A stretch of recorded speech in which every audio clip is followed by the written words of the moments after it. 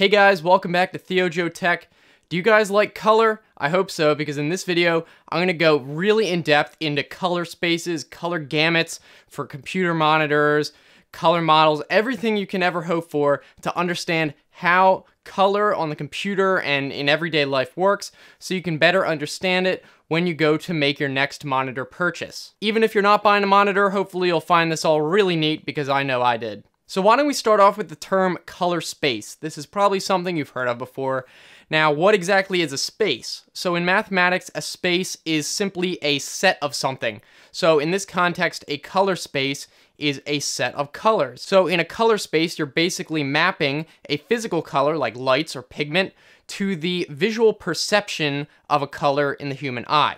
Now, very often what we use as the standard for human color perception is the CIE 1931 color space. And what this aimed to do was map different wavelengths of light to the visual perceptions how we perceive those specific wavelengths in the human eye. Now, in the human eye, there are three different types of cones which perceive light. Each one is able to perceive different wavelengths. The one for short wavelengths perceives mostly blue, the one for middle wavelengths perceives mostly green, and the longer one is red. And because there's three cones, that means that any color you ever want to produce can be created with three parameters. I'll get into what that actually means. Now, when dealing with color, the three parameters are called tri-stimulus values. So when you're looking at the human eye and perception, they could be L, M, and S for long, middle, and short but there are other ones depending on what system you're using. So different combinations of the different parameters will create different colors. And I want to point out that the parameters, they're not real colors. They're just ways of representing them mathematically. Now, interestingly, the way the cones work, you're always going to have two cones activated simultaneously because they overlap over the different ranges. Therefore, there are some tri-stimulus values that produce impossible colors, such as if you were to say, well, this color is 100% long wavelengths, but 0% the others, because the red wavelengths, the long ones, overlap a lot with the green ones. So you can't just have the long wavelengths without doing the green. So that produces a problem. To have some colors, they would have to be negative color values, which doesn't work obviously. So to fix this, they basically used one of the parameters as brightness as opposed to a color. So this brightness parameter kind of became an imaginary primary color of the three. And they also created some color matching formulas for these impossible colors. Now, in this 1931 color space, the three parameters are called X, Y, and Z. And these can cover every single color experience that the average person can perceive. Now, humans actually perceive green parts of the light spectrum as brighter, so they used the M middle cones as brightness. So for these three parameters, Y is luminance, Z is blue colors, and X is a mixture of the other non-negative colors. Alright, so that was a lot of technical mumbo jumbo. Now for the next part, if you didn't understand all that, just know that to produce a color, you need three parameters, and that's all you really have to understand. Now there are several options for choosing what you want to use as these three parameters. Usually how it works is you pick three different primary colors, one for each parameter, but that's not always the case. I'll get into some other examples. Now the different systems for representing these three parameters are called color models. You've probably heard of a few of them. The first one is RGB. You've probably heard of this. Red, green, and blue are the primary colors, and this is considered an additive color model because to create a color, you add different amounts of each primary color to produce the one you want. Now the next common one is CMYK. This is usually used in printing.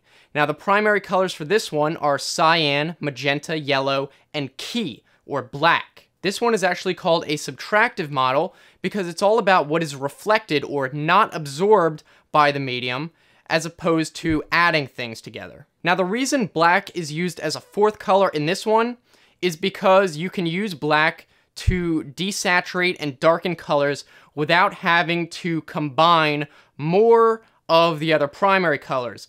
So you could produce any color with cyan, magenta, and yellow, but it's cheaper to just add black ink and darken things as opposed to using more of the primary colors. So it's really just a way to save money by adding that fourth primary color, black. Another model you may have heard of is YPbPr, which is basically a way of encoding an RGB signal. Now the three different parameters in this one are Y for luminance, PB for the difference between the blue and luminance channel, and the PR, which is the difference between the red and the luma channel. Green colors are actually derived from the other channels, so you don't actually need to send the green information separately. And the final common model you've probably heard of is the HSL or sometimes HSV, which stands for hue, saturation, and lightness, or sometimes value. And this is basically just a transformation of the RGB model. Now this is a cylindrical coordinate system where the hue is the angle around a cylinder and that's just the fully saturated color and then saturation and lightness are pretty self-explanatory. These are often used in image editors and color pickers. You've probably seen this because it's really intuitive and easy to understand how to get to different colors with it. Now that we know the color models, there are different color spaces that are within each color model.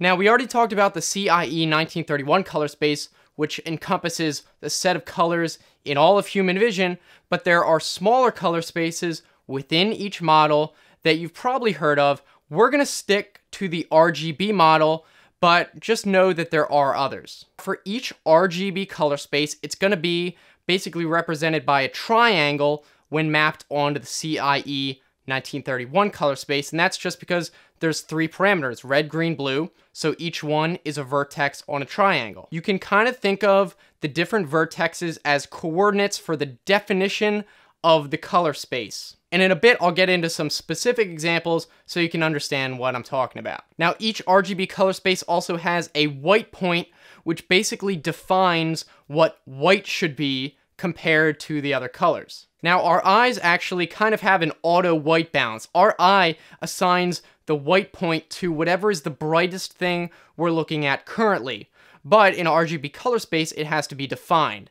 Oftentimes, this is called the D65 white point, that's usually used because that is a standard for what the sunlight looks like as a color in the midday. And this is usually going to correspond to 6500 degrees Kelvin, that color, so that's why it's called the D65 point. And the final part of an RGB color space is the gamma value. Sometimes it's a single value, sometimes it's a curve, but basically what this does is tells you how to encode different luminosities. This is to save space by using less information in parts of the image or signal where the human eye really can't tell the difference anyway, and use more information where the human eye can determine more detail. So it's basically just to save information. Now let's get into some specific examples of RGB color spaces. You may have heard of some of these before. Now, these are going to be smaller or larger depending on how they're defined with the values and options I just described. Now, the first color space is called sRGB, and this one is used pretty much for all computer monitors, web content, all stuff like that.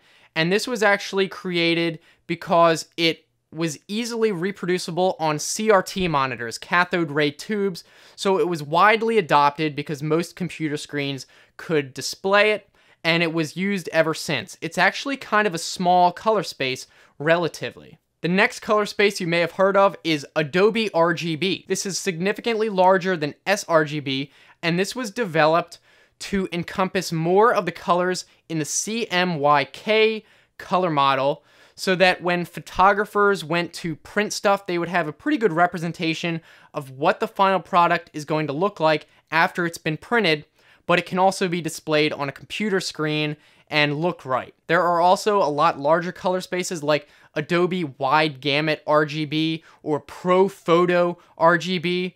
To do something that's wide gamut, you'd probably have to buy a very special monitor that has 10-bit color. Not going to get into all that, but you know, it's really expensive. You'd have to buy a specialized monitor for that. All right, so all that's great, but how does it relate to the computer monitor you're using right now? That's what we're going to talk about next every camera, monitor, printer, anything that produces color is capable of producing a range of colors. This range of color for that specific device is called the device's color gamut. So when you go to buy a computer monitor, you should consider the color gamut of that monitor and how it relates, more importantly, to the color spaces you'll be using. This relationship is called the coverage. So you could look at some monitor and see that it has a color gamut that has 100% coverage of the sRGB color space, but then you might see that it also has only 80% coverage of Adobe RGB. It's really not that common to find a monitor that has 100% Adobe RGB unless you specifically buy a monitor for that. But you can spend a pretty good amount of money and get a 100% sRGB coverage monitor. For example, I measured my monitor's color gamut and it has a 99.7 sRGB coverage and about 77% of Adobe RGB. I didn't even know that before I bought it. That was before I knew anything. It was a Monoprice monitor, but I was pretty happy to find out it's got that good coverage. So in that case, because it's so close to covering all the colors in sRGB, if a image is encoded in sRGB color space, then I know that it's going to look how it's intended to. If you have a really low coverage, maybe like less than 90% or more lower than that, then even if the image looks okay, it's not going to look how it should, and you might not even notice until you go to a monitor that does have high coverage. So if you do a lot of photo editing, graphic arts, that kind of stuff, and you have a really cheap monitor, it might look right to you, but then when you export it and send it to someone with a good monitor or even a different monitor, it's gonna look a lot worse, possibly. If you're in that kind of field, you really want to have 100% coverage of the space that you're using, so at least your reference image, the one you create, is going to be accurate. In most cases, you probably don't need that good coverage of Adobe RGB unless you're a photo editor. But sRGB is used in pretty much all computer applications, web content stuff I already mentioned.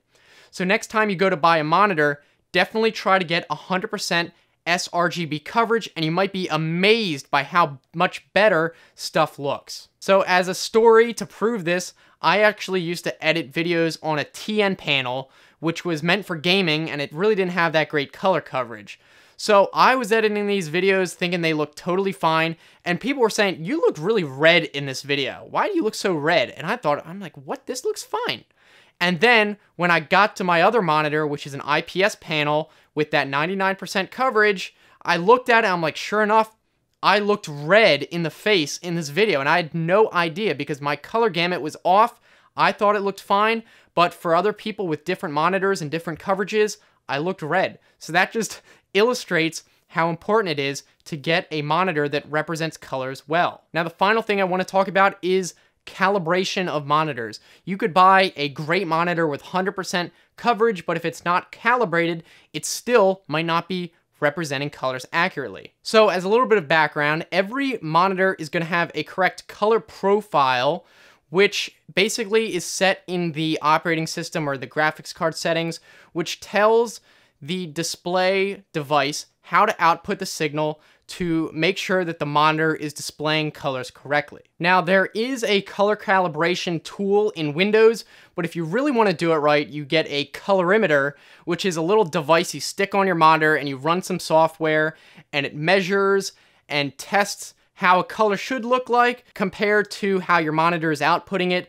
And then based on all that information, it generates a color profile so that you know that the monitor is outputting the colors in that space how they should look. I actually have one of these calibration devices called a Spyder5, and I use some third-party software, not what comes with it. And that's how I was able to make sure that I got the correct calibration for my monitor and actually measured that it had that really high sRGB coverage. If you guys are interested in something like that, I'll put the link in the description so you can see more about it. But that is everything I wanted to talk about. Oh my gosh, this is going to be a long video, but I hope you guys for you who stuck through it, I hope you guys found it interesting. So if you guys want to give it a like, that would be great. And you can talk about this in the comment section below. We can have a continued conversation. And if you guys want to check out some other videos on the right hand side, you can either click them or look in the description for the same link, like if you're on a phone. And if you want to subscribe, I make videos three times a week, so it should be worth it. So as usual, guys, thanks for watching. I will see you next time. Have a good one.